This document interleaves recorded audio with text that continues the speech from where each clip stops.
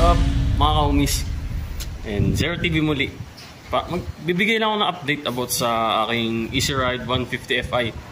And guys, kasi may dalawang warranty ako upcoming ngayon. Kasi nagpa-warranty ako ng parts ng Easy Ride 150 Fi natin. Na kasi may defect siya. Talaga may defect. Kaya ayoko pa alam talaga muna sa mga ano eh, sa mga kalala ko talaga.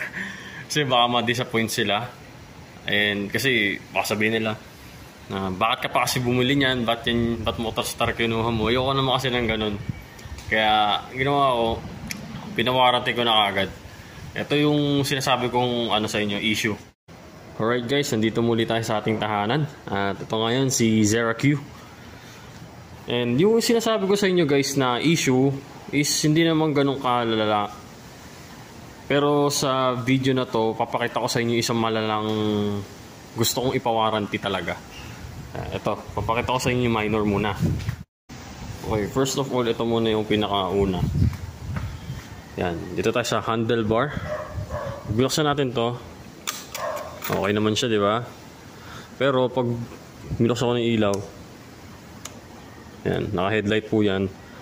Etong right switch lang yung gumagana, yung nag-illuminate itong isang switch natin sa left, hindi po siya umiilaw.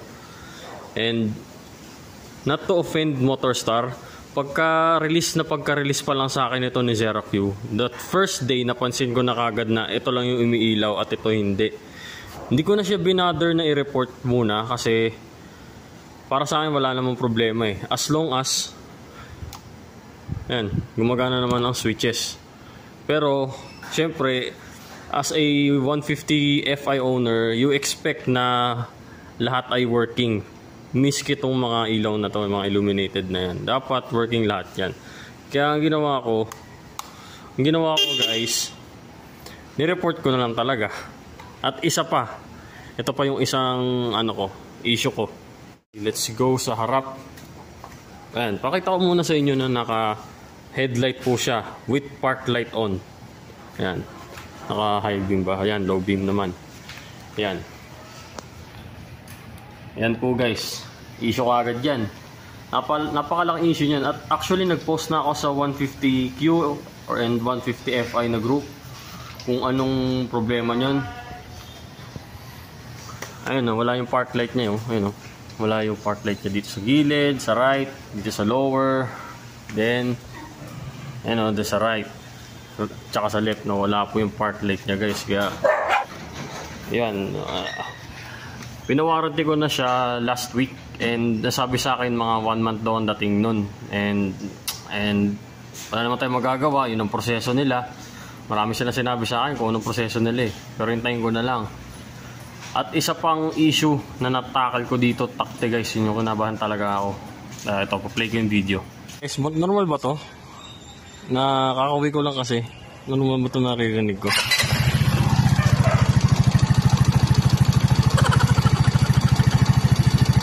Palit si Gunyal yan, boy! Maingay sa kanya, hindi ko naman yun. And ayun guys, no, narinig nyo na yung ingay na inan ako. Actually, pinost ko rin niya sa group kung anong dahilan ng ingay na yun. Actually ngayon, ano, alam niyo re re remedy na ginawa ko talaga para dun na mawala yung ingay niya. Actually, may ingay pa siya ngayon kasi hindi siya tulad nung una na sobrang lakas ng ingay na parang helicopter. Yung ginawa ko kasi guys, nilagdagan ko siya ng mga ano 100 ml oil pa para mawala yung ingay. Tinignan ko kung gagana yun. Okay naman siya, gumana naman po. And may onting ingay pa siya na kinikreate at doon ako nababother na baka lumaki at maging malala pa yun. Ayun yung inaano ko. Kaso hindi ko pa siya dinadala sa Motorstar ngayon kasi wala silang mekaniko nung dinala ko siya. Pero this ano, rest day ko ulit, pupunta ako ng Motorstar. Papacheck ko yun, yung video na yun. Total, nak nakumunan ko naman sa video. May pruweba ako na nag-iingay to. And tingnan natin kung mawaranty nila to. Kasi ayoko naman na baliwalain lang yun eh.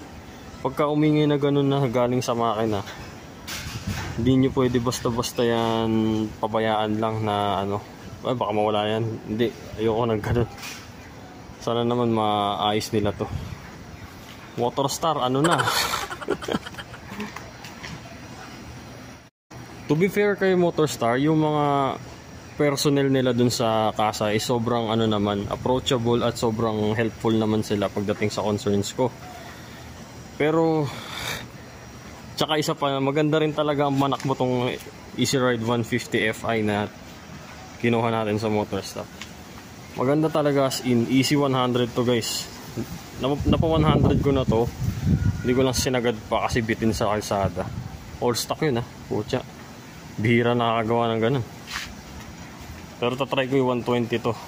Kung kakayanin sa kalsada. At isa pa guys.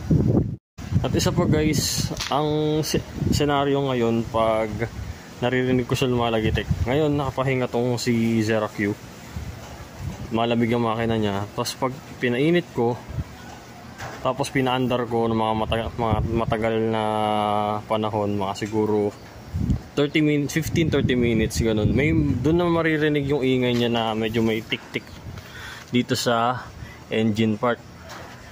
Ganun na nangyayari. Pero pag fresh start siya, hindi mo yun maririnig talaga as in. Talagang parang normal lang. Pero pag pinandar mo na, doon mo na maririnig. Hindi siya maririnig on video yung yung ma quiet na ano, yung mahinang tik-tik na yon. Pero it's a thing talaga. Kaya doon ako nababother ngayon. Sa Rapid 150 ko nga, wala naman akong problema sa makina nun. Pero dito lang talaga ako nagka-problema kay Zero Q. Hopefully, hopefully, hopefully, Motorstar magawan, ta, magawan niyo po ito ng paraan. Bago kuha pa lang ito, almost mag, mag one month pa lang po sa akin to. Yun lang no. Kung nagustuhan niyo po itong vlog natin about sa ER150 Fi na ating motor ngayon, ayan si ZerQ. Please like, share, subscribe sa ating channel Zer TV for more ER150 Fi contents. And hopefully Motorstar itong concern ko is may pa may abot ko sa inyo ng maayos. Hopefully magawan po ng paraan yung issue ko ngayon kasi ayokong isoli to basta-basta dahil lang nagkaroon siya ng issue. At galing na po ako sa maraming issue ng motor. Hindi na po ako bago dyan.